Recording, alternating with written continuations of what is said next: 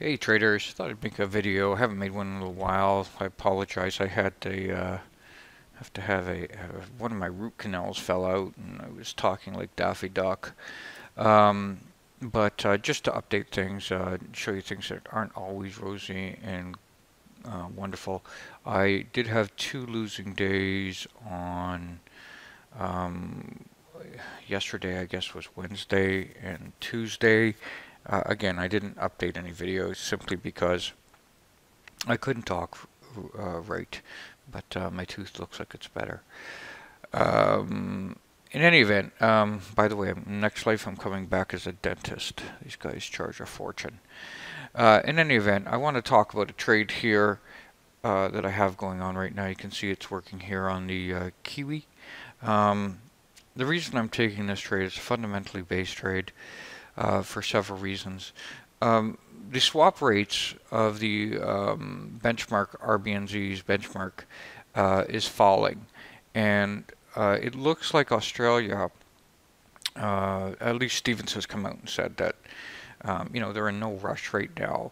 As a matter of fact, they've actually taken steps to um, to suggest that um, you know they're they're not going to cut um, and you know, you're typically talking about a central banker that loves to talk about cutting all the time.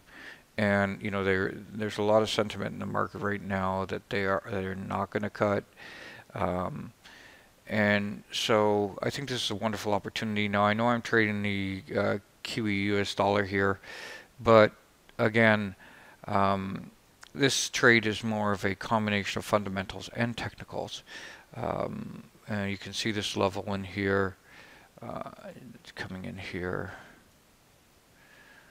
Um, a lot of people um, don't understand balance areas, but um, this is a big balance area in here, and for those of you that don't know what a balance area is, it's basically a very large disagreement in price.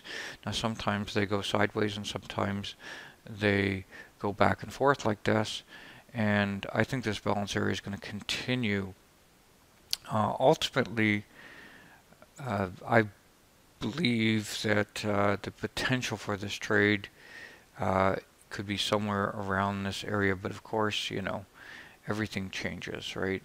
65, 76, or 65, 70.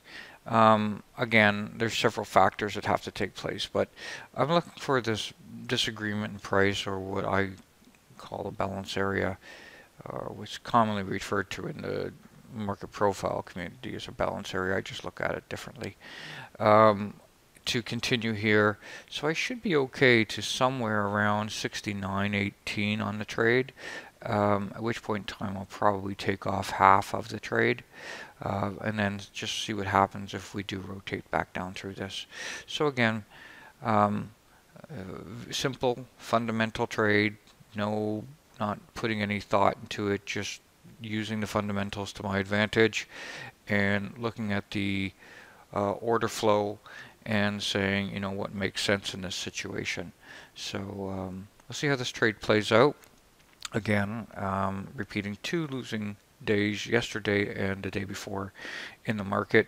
It was my first two-day losing streak uh, this entire year. It's you know the fourth of the 21st. Uh, it's uh, January, February, March, April, April 21st right now, and uh, my first two losing days back to back. But uh, thank God, currency markets are uh, giving me a couple of good trades. So I thought I'd talk about it a little bit more.